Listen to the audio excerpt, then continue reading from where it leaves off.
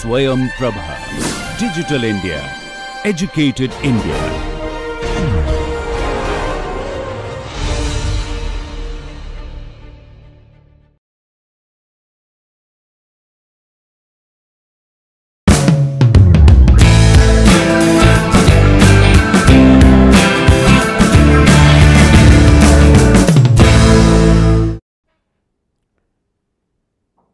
We now get on to talking about transaction cost approach to institutions. The idea of transaction costs goes back to the work of Robert Coase in 1937 towards the theory of the firm, where he talks about transaction costs involved in the way the firm operates on a day to day basis.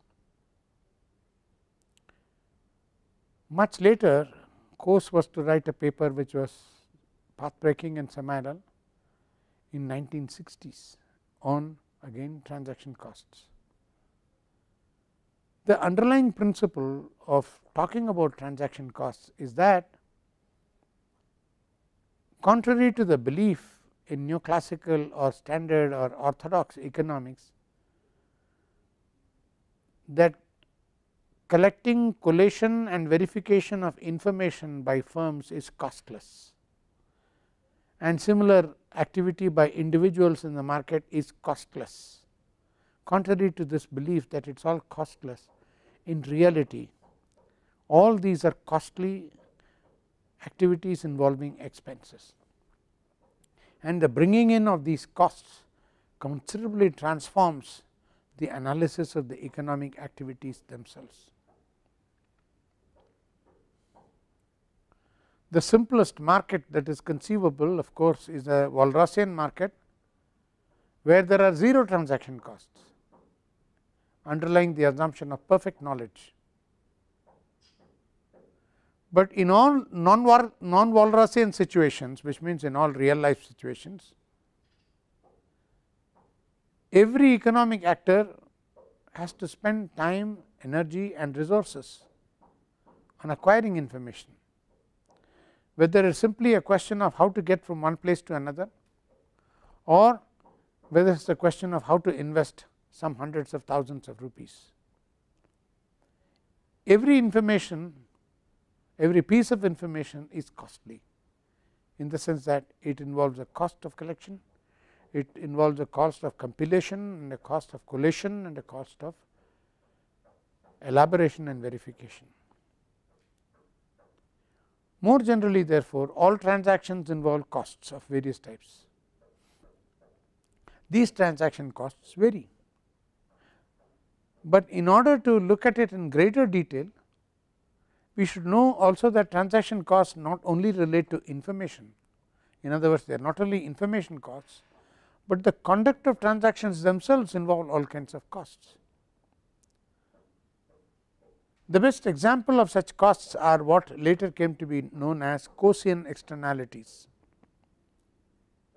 Robert Coase discusses a very interesting scenario of two producers occupying two adjacent plots of land.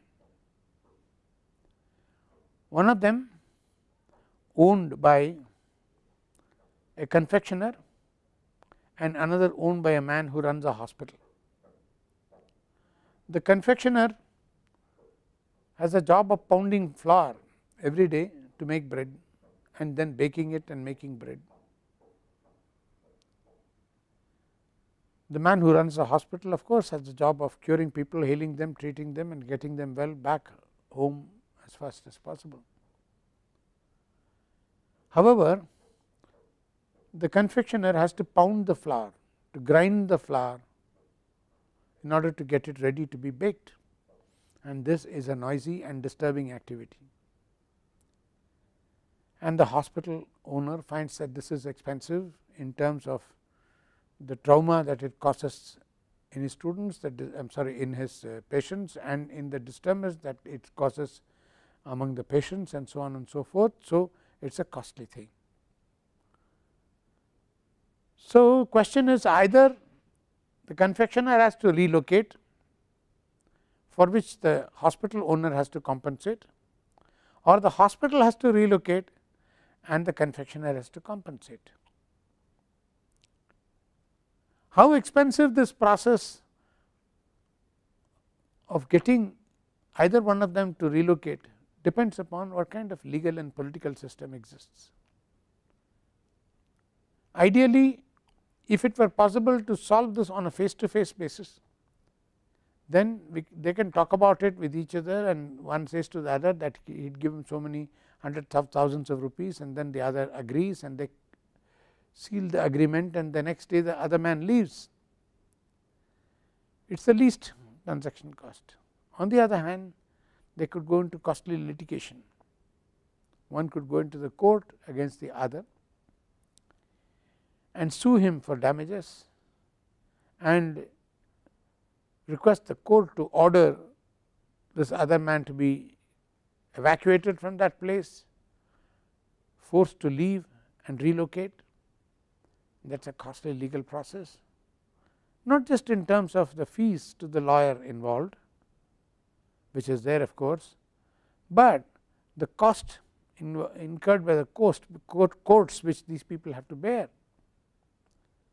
And then of course, invisibly behind all this the salaries of the judges and the various members of the court and the enforcing authority the police force and finally all the senators and lawmakers who get paid in order to make these laws. In short, transaction costs can be either very minimal on a face to face negotiation basis or they could be quite extensive in a complex political legal situation. Now, here is a simple case which we discussed where there was a dispute over the use of a piece of property by one person, but there could be a whole lot of other transaction costs involved in the process of production. They could all have a Coasean nature for example, the bank workers suddenly decide to go on a strike and because of that a businessman loses out on that day's transaction and loses several hundreds of thousands of rupees. Question is can he go to the court and enforce that the bank employees organization pays him back the costs this is another transaction cost. So, we have a whole lot of costs associated with the legal political institutions connected with the production process in the economy, all of which are sources of transaction costs. Now, Douglass North made a very interesting study of how the existence of transaction costs gave rise to the rise and fall of institutions in a society historically. There are some institutions or rather every institution has a particular set of transaction costs associated with it in the society.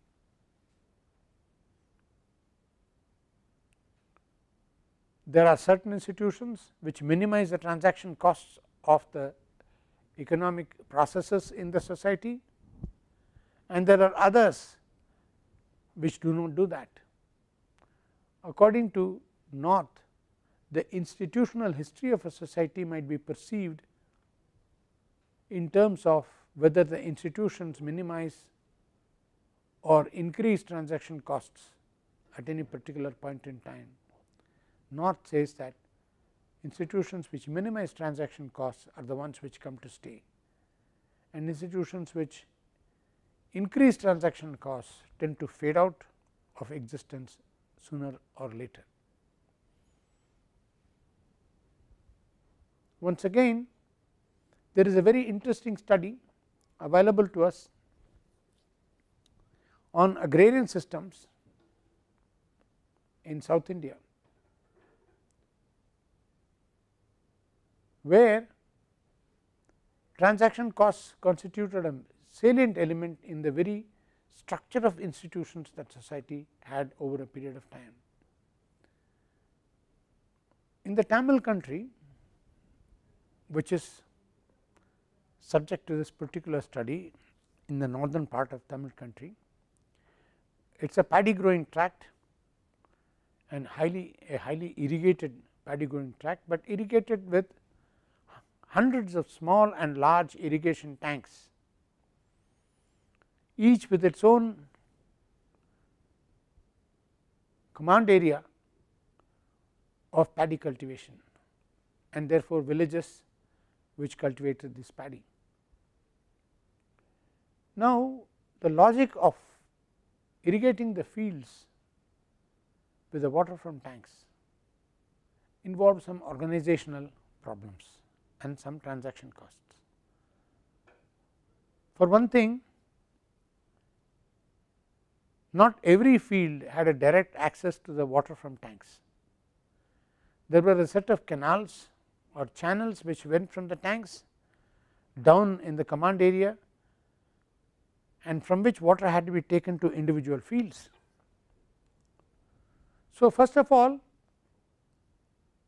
fields which were closely located to the tank had much greater access to water, fields which were further away from the tanks had lower access to water.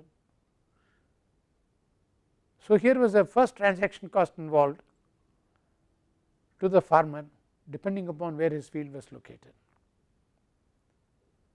Second, water had to be blocked as it flowed down the channel and as it as the level rose you cut a little channel through somebody else's field so that the water would flow from there onto your field. This means that you had to have the permission of this man to take water through his field to your field and another set of transaction costs. You have to be on very good terms with them or else you will not get water for your fields. The third consideration was not all fields were of the same quality of soil. Some fields retained water very nicely, some fields had more porous soil and water quickly went through and it was not retained, not good for crops. So, once again soil differences made a big difference.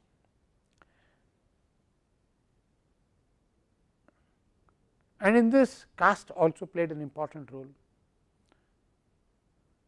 Lands which were close to the tank were usually lands which belonged to the upper castes. Lands which were further down the channels away from the tanks were usually lands which did not belong to upper caste, but to lower castes. So, once again where your fields were located depended upon the caste hierarchy in the village. So, another set of transaction costs. So, here is a situation where a large number of issues are involved in simply taking water to irrigate the fields and a large number of things had to be resolved among the people before such a complex excuse me complex irrigation system could be managed. So, institutions which managed and distributed water in the village were the most important institutions. And around these institutions grew other institutions in the village. So, for instance, in the 18th century, the institution which was like a local government in the villages was something called Ur. Ur literally means the village. Now, how important the Ur was in its functions, how it could how, how much it could enforce its views and its judgments on a number of issues depended very much on how important irrigation management was in that village. If irrigation management was central and if the village used a lot of water from the tanks, then the members of the Ur were also members who were regulating the water distribution in the village and therefore, anything that they said was important. On the other hand, if the village was a dry land village with not much irrigation available, not much water in the tanks, maybe the water in the tanks might last a month or so in a year not much. And for the rest of the time you have to either depend on a well or on rain fed irrigation that sort of thing. Basically not very certain agriculture. In all those villages it was found that the Ur was not a very powerful institution because irrigation management was not central. Why was this? Irrigation management, management was central in these villages because the economics of paddy cultivation was such that everybody had to plan a very homogeneous cropping pattern to optimize on the water use when the water did come in the tanks. So, they had to plan cropping pattern in such a way that they all optimized on water use at the same time which meant which meant that the crop calendar was very uniform moved along with water levels in the tanks. When the crop calendar is uniform then labor management becomes very uniform because if crop calendar is uniform then the peak season demand for labor and off season demand for labor also became very uniform. There were particular periods in the village when everybody wanted labor there were particular periods in the village where nobody wanted labor, there was surplus labor available. So, management of labor is a crucial issue. What does one mean here? How does one manage to keep laborers well fed and happy when most of the year they did not have work to do? And what was the way in which the employers managed to get workers to do some work when everybody everybody wanted the workers. In other words peak season was a time when there was excess demand for labor and when excess demand for labor existed and if you leave the situation to go as it is wages would hit the ceiling. On the other hand for the rest of the year when there was not peak season, but lean season no demand excess supply of labor at that time a fellow would work for you for a meal. So, virtually 0 or negative wages. So, if you have wages which are following the market they would go up and down let us seesaw up and down then market cannot regulate labor market I am sorry the market cannot regulate labor relationships. Labor relationships had to be part of the labor management strategy of the village as a whole in large number of South Indian villages therefore, during the lean season you had a whole lot of rituals during which all the landed families would make rice gruel and the whole village would be fed every day in that. This is one way in which everybody was fed and that was lean season when there was no work going. Likewise, they had a wage negotiation system whereby a person would join a family as a permanent farm hand on a one year contract which was renewable every year and his wages would be on a base wages would be fixed as so much of rice per month and around that base wage would be negotiable bargains on bonuses which he got during harvest for extra work that he did and so forth. In other words management was labor was not just management of supply and demand of labor, but it was also management of relationship between labor and employer. Now, therefore, labor management also had to happen about the same time labor management also had or had to happen about the same time as water management as crop management because everything surrounded everything surrounded the availability of water. So, these villages you had all kinds of social and political institutions developing minimizing transaction costs in irrigation and therefore, developing implications for rest of the society. So, the whole caste hierarchy in these villages was found to be organized around water management.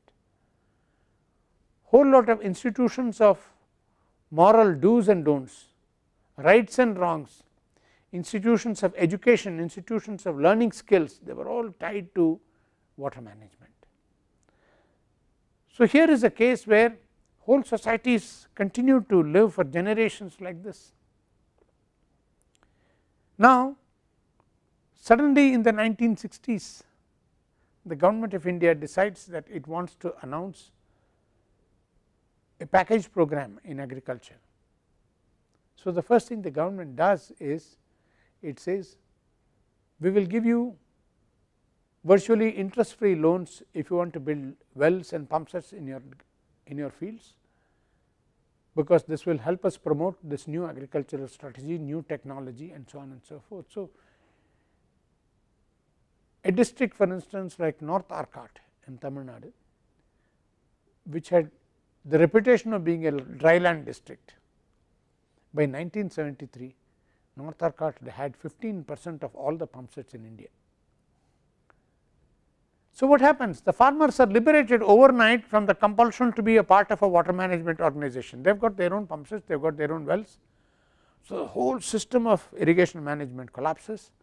Around it collapses the crop management, labor management, in other words, every other institution in the society. So, here is a situation where it could be argued that transaction costs were minimized by a particular social organization which existed for a long period and suddenly the introduction of new laws displaced the economic basis of the social organization which is irrigation management, the, the imperative of irrigation management and it liberated each farmer from having to belong to a irrigation management group and having to listen to the irrigation managers about crop planning and so forth. He could plant any crop that he wanted as long as he had a well and pump set he could grow any crop that he wanted any time of the year it freed him completely from every other cycle crop management irrigation same way he could employ workers as and how he liked because his crops varied in other words the whole organization of rural society which had been for centuries centered around the transaction costs of water management broke down. Here is a classic case where transaction cost economics can be perceived at actual work in deciding the power and role of institutions in village. So, there is a big argument against green revolution in large number of quarters which says that the bringing in of green revolution certainly saved the food economy of the country from crisis. It certainly enabled the farmers to produce enough food for the country. It certainly enabled famines and scarcities to be averted, but they led to the breakdown of the village. The social consequences of which they said is something which cannot be replaced. The question is not therefore whether green revolution is good or bad. What we are saying is pre green revolution there was a transaction cost regime, post green revolution there was another transaction cost regime, but the structure of transaction cost changed completely in the two periods. What was traditionally managed as a local law and order situation now became law and order subject to the state government and therefore, more generalized and institutions of the village were now replaced by the governmental institutions of police and courts and so on and so forth, which became regulatory institutions. So much for transaction costs. As an option to Marxian version, transaction cost economics argues that there is no determinism about any such thing as a production relations or economic base, but uh, the institutional argument of North and others enforce the case for a very dynamic fluid structure of institutions through history as and how they minimize transaction cost the institutions come into say as and how transaction cost economies vanish the institutions all vanish. So, rise and fall of institutions in human society historically is explained through transaction costs in this mode of analysis rather than through mode of production and superstructure. The third approach is what might be broadly called the approach of economic anthropology. I am using the word economic anthropology in a broad sense because the kind of economists I am I am sorry I am going to kind of anthropologists I am going to discuss here were certainly not people who advertised themselves as economic anthropologists, but their contributions to explaining economic anthropological phenomena is significant. The assumption in economic anthropology is that institutions constitute the liminal conditions to economic conduct in the short run but in the long run the institutions themselves could undergo morphological changes through economic transformation. It is a two way relationship. The greatest debate in economic anthropology since the 1950s in India has been the debate of tradition versus modernity. There is an argument in economic anthropology that a society which is traditional could have a number of advantages as stability of relationships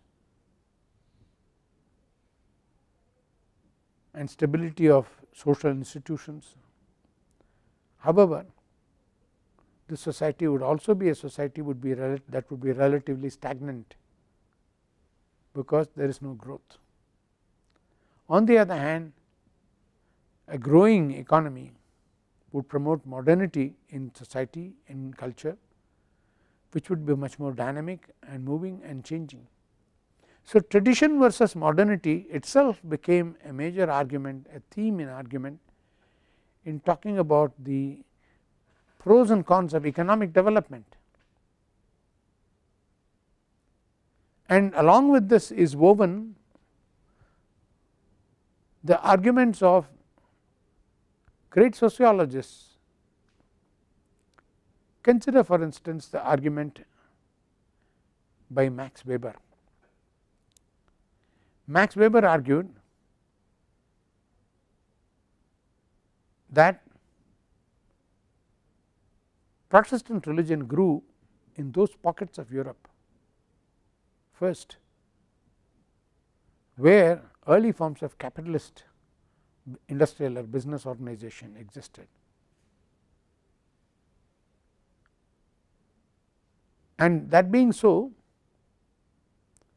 Weber attributed a one on one relationship between the rise in society of Protestant ethic and what he called the spirit of capitalism. Weber was trying to argue that the emergence of capitalism in Europe, I am sorry emergence of Protestantism in Europe had certainly something to do with the emergence of capitalism. Let us look at this in a bit of detail.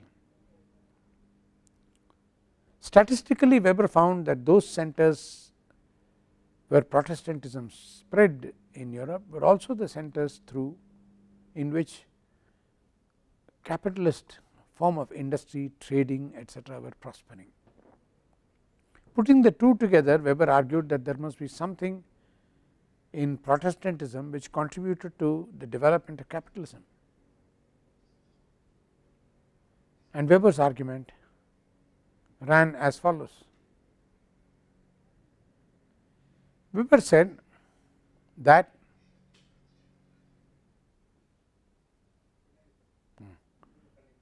Weber said that there were aspects of Protestant ethic which propagated behavior which was very much in the spirit of capitalist development. First of all Weber said that Protestantism as opposed to Catholicism argued that the grace of God might or might not be yours in the life hereafter, but certainly the grace of God is yours if you look upon your own trade and your own vocation as service to God. In short the idea of calling, the idea of calling in Protestant religion wherein your profession, your trade, your vocation was your calling or God given thing to do and in being sincere in your calling, in being honest and committed to your work was an act of worship in Protestant ethic. Now, according to Weber, the idea of calling therefore was something which paved the way towards productivity, paved the way towards thrifty behavior, paved the way towards austerity which was a crucial in the early phases of capitalism. Secondly, Protestant religion argued that both heaven and heaven and hell are here in the world with us. They are not to be found in an afterlife as Catholic religion advocated. So, the bringing in of the time frame of human salvation to the present life enabled Protestantism to create conditions whereby there was commitment to work, there was commitment to productivity and so on and so forth. This was another of Weber's argument. Granted these, Weber said that the ethics of Protestantism something was something which promoted the spirit of capitalism. The spirit of capitalism being thrifty behavior, productive behavior, hard work, all those things. so, religion and the rise of capitalism coincided in particular pockets in Europe was what Weber was arguing. But Weber went one step further, he started doing an analysis of oriental religions and he came to the conclusion that they did not do the same thing as capitalism did in Europe. He thought oriental religions were tying down people to traditions and not creating the conditions conducive for the development of ethic, the, the spirit of capitalism. So, Weber's conclusion was that while Protestantism lay at the heart of the development of modern Europe, similar development did not happen in the Orient for the simple reason that oriental religions did not permit this.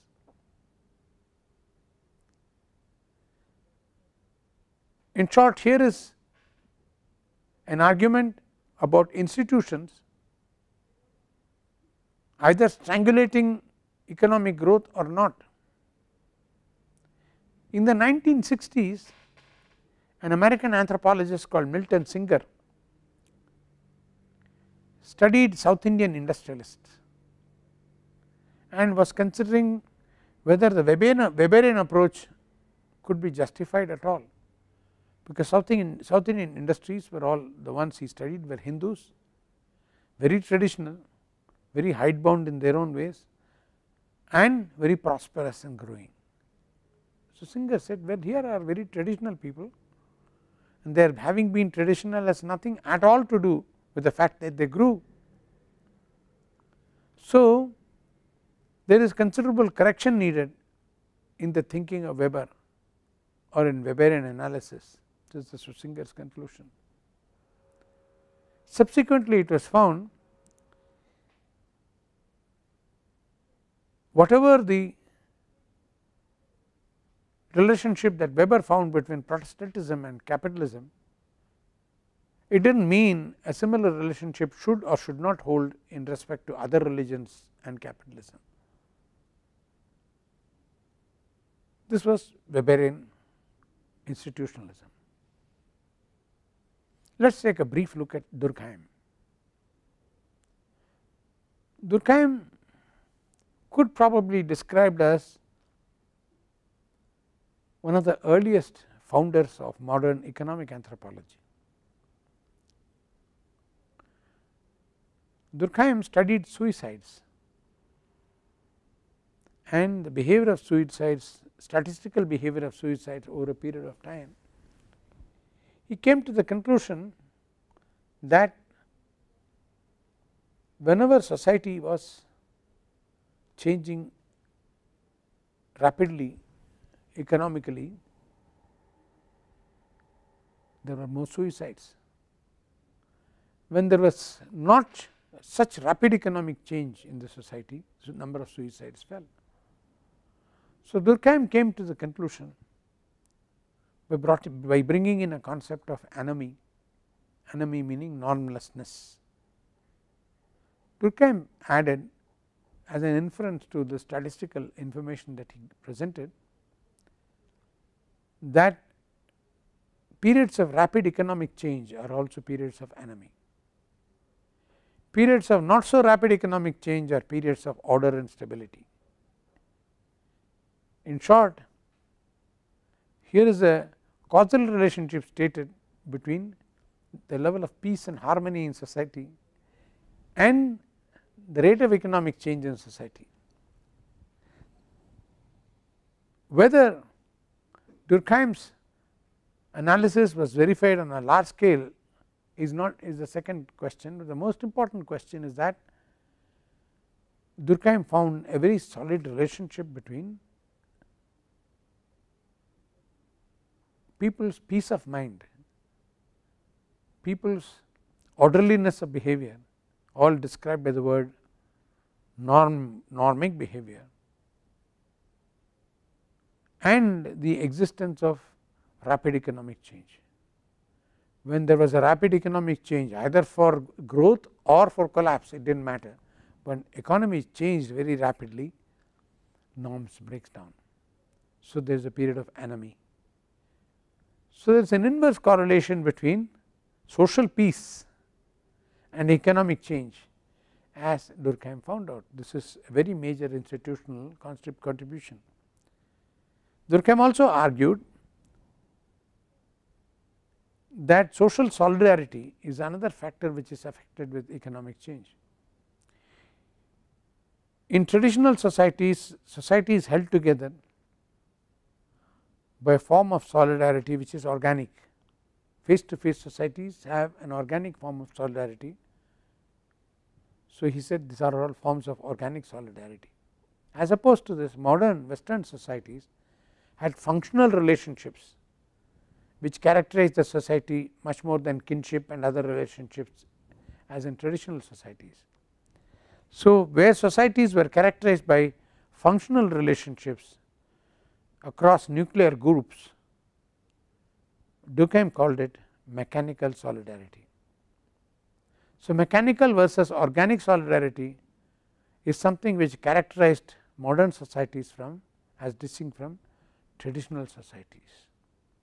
This is Durkheimian analysis. Finally, let us consider a major contribution by a great Indian sociologist M. N. Srinivas. According to Srinivas, there were two major aspects to social change in India. As prosperity came to particular social groups, these groups underwent two kinds of changes. As prosperity came, one thing that these groups was they engaged in westernization. They started using their money to adopt western styles of living, to send their children to English medium education, to get them to acquire western habits of eating, drinking and so forth. Westernization from simple things like switching to western form of dressing to adopting western lifestyles on a much larger scale. This is one thing. The other thing which happened another social change which happened when prosperity came to people was Sanskritization. This was more prevalent in rural India. When a particular community in a village became affluent or when a particular caste group became affluent, the members of this caste group started adopting the practices ritual and other practices of a caste group above this. And slowly they start adopting even the nomenclatures used by the caste group above this and gradually their ritual status moves up in the society from a lower to a higher level. In other words social status and social ranking adapt itself according to a cultural change called Sanskritization after some some time after economic status changes. According to Srinivas Sanskritization much more than westernization was the source of social mobility in rural south in rural India as opposed to urban India. In urban India westernization was the source of social mobility in rural areas Sanskritization. Now what is important about Sanskritization is that Sanskritization appeared to leave the social structure intact without fundamentally changing its structure, it permitted changes within the social structure over a period of time. It seemed to ensure both stability in the society and change. So, according to Srinivas, Sanskritization was a major basis of rural social stability even when there was economic change.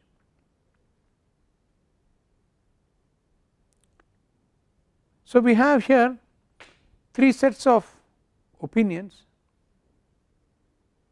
among economic anthropologists on three sets of issues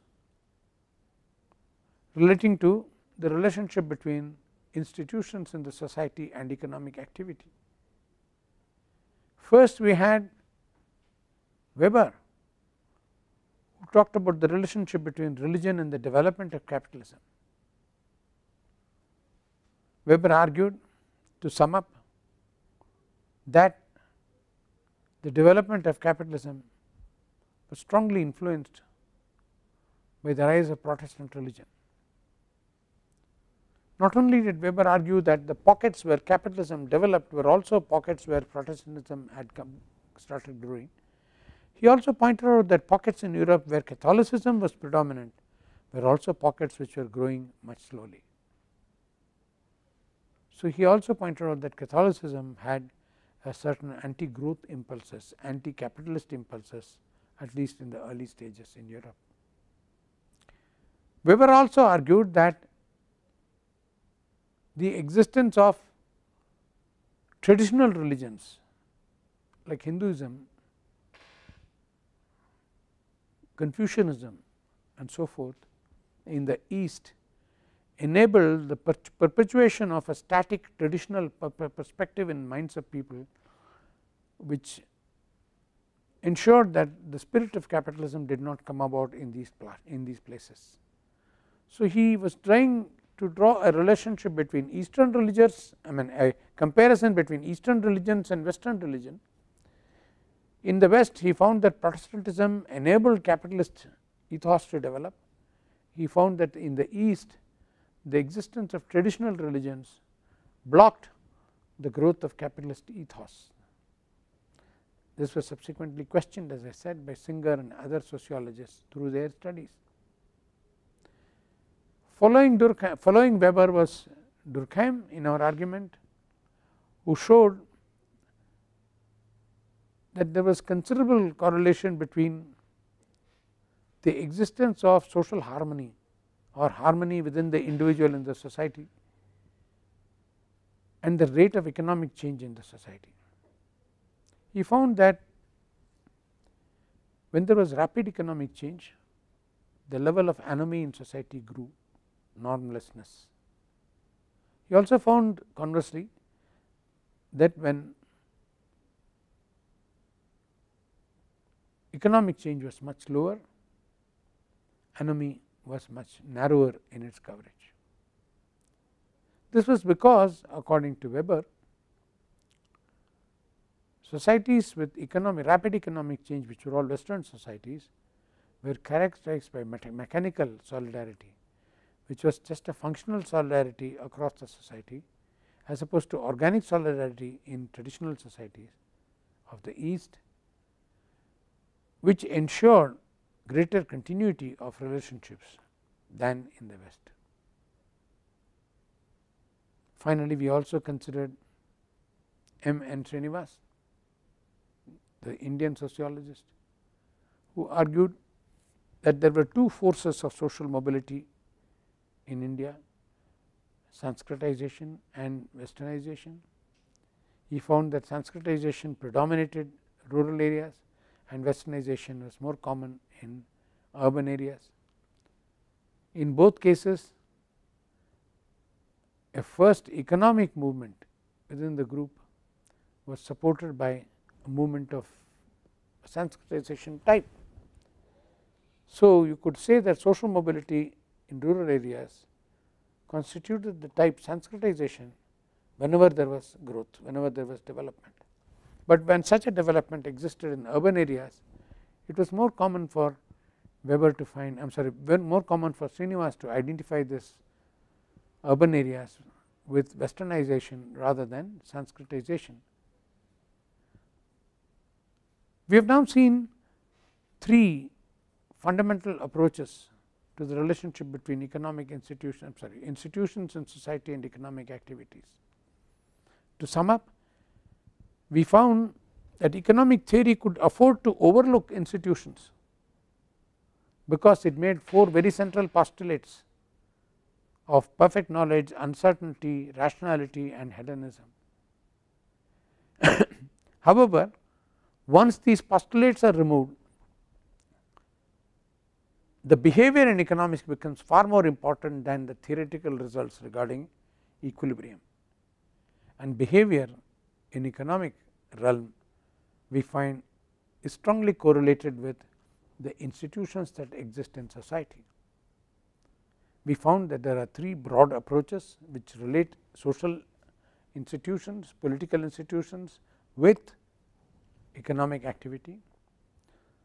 The first was a, was a determinist Marxist approach which said that the economic base was everything and within the economic base production relations was central and this decidedly influenced the nature of social and political institutions which merely constitute the superstructure over the economic base of the society. So, by and large Marxian analysis argued that there was a one way relationship between institutions and economic phenomena. The one way was from economic change to institutions and not the other way around. In contrast, the transaction cost approach of North and others clearly showed that the relationship between institutions and economic phenomena was a lot more varied. On the one hand, there were institutions which minimized transaction costs in society which survived because they minimized transaction costs. On the other hand there were institutions which could not minimize transaction costs and therefore fell on the wayside as a society passed through. So, transaction cost was a major source of explaining the institutional history of society itself. This was the second approach.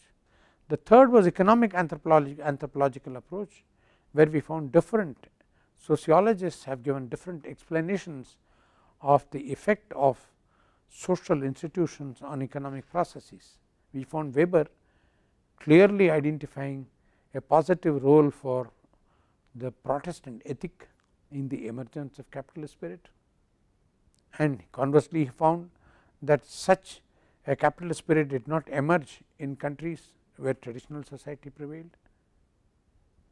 Durkheim argued that there was a strong correlation between anomie and economic change and finally Srinivas argued that there was a rural, rural and urban divide in whether Sanskritization was a source of social mobility with economic change or whether westernization was a source of social mobility with economic change. We have now summed up a study of relationships between economic activities and institutions. We find that in the short run institutions appear to be dominating over economic activities, but in the long run economic activities themselves had the propensity to transform and change institutions. And the study as we found could be approached in, in a number of ways and we showed three different ways in which this relationship could be studied. And in the next hour that we teach we shall be studying evolutionary economics. Good evening.